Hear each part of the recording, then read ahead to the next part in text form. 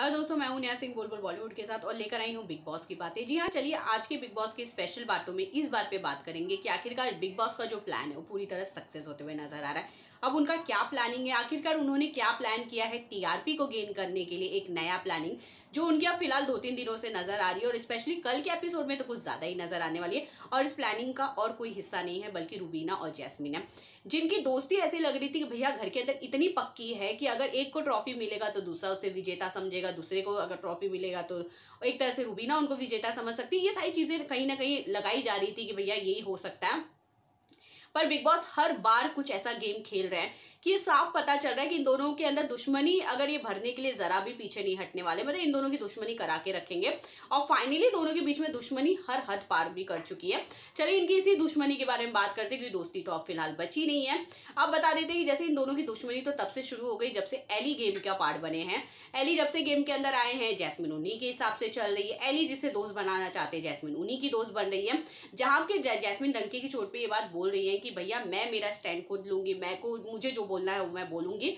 पर जैस्मिन कहीं से भी वो गेम प्ले करते हुए नहीं नज़र आ रही है। और इसी की वजह से उनका रुबीना के साथ दिन पे दिन खराब होते हुए नज़र आए। अगर मैं रुबीना की बात करूँ, रुबीना ने जैस्मिन के साथ अपनी दोस्ती हमेशा रखी है। अगर आपने देखा भी होगा तो साफ़ तौर पर पता चलता है कि रुबीना ने कभी कुछ ऐसा नहीं किया जो जैस्मिन के अगेंस्ट जाए पर जैस्मिन की बातें करना हो, जैस्मिन का वोट आउट करना हो, या शार्दुल और जैस्मिन रुबीना में से कौन निकलेगा जब उन दंगे की चोट पर उन्होंने कहा कि डिजर्व करती है रुबीना निकलना। तो ये सारी बातें कहीं ना कहीं रुबीना के दिमाग में अब थी। और जब कैप्टनसी का टास्क दिया गया है, पंचायत वाला टास्क जहाँ पर बंटवारा होने वाला है दो बहनों के बीच में, दो बहनों का किरदार आपको रुबीना और जैस्मिन निभा रही हैं। अब इन दोनों के बीच में इतना ज़्यादा कल के एपिसोड में झगड़ा होते हुए नज़र आएगा कि भैया ऐसा लग रहा है कि अगर सामने कुछ मिल जाए तो दोनों एक दूसरे को उठा के मार भी सकते हैं। बिल्कुल वही होते हुए नज़र आएगा। इसी के अलावा अगर मैं बात करूँ तो ये सारे टास्क जानबूझ के दिए जा रहे हैं। मतलब मुझे समझ में नहीं आता अगर टास्क आपको सिर्फ़ इंटरेस्टिंग बनाना है तो यार आप कपल्स कपल्स टास्क क्यों खेल रहे हो?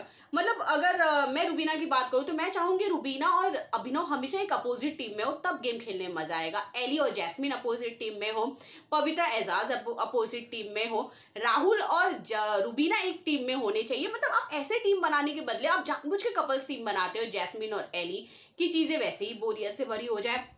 पर इस वक्त टारगेट जहाँ पर है रूबीना और जैस्मिन के लड़ाई कराने का तो ये टास्क तो बिल्कुल उसी के लिए बनाया गया था, क्योंकि जैस्मिन और रूबीना के बीच में आपको झगड़े होंगे, क्योंकि जैस्मिन नहीं चाहेंगी रूबीना की टीम जीते।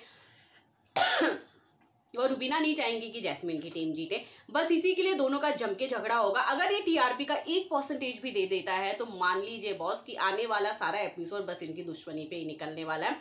वेल well, जो चीज़ मुझे लग रहा है क्या सच में वो भी आपको फील हो रहा है क्योंकि बहुत सारी मूवमेंट्स ऐसे होते हैं कि जहाँ पे फ्रेंड्स अपोजिट रिएक्ट कर देते हैं आपकी सोच के हिसाब से पर ये तो पूरी प्लानिंग के हिसाब से ही चल रहा है। पर आपको क्या लगता है इनकी ये दोस्ती टूट जाएगी या दोस्ती आप ज़्यादा इंजॉय कर रहे थे या दुश्मनी? प्लीज़ हमें कमेंट करके ज़रूर बताएगा। बाकी खबरों के लिए बने रही है बुलबुल बॉलीवुड के साथ।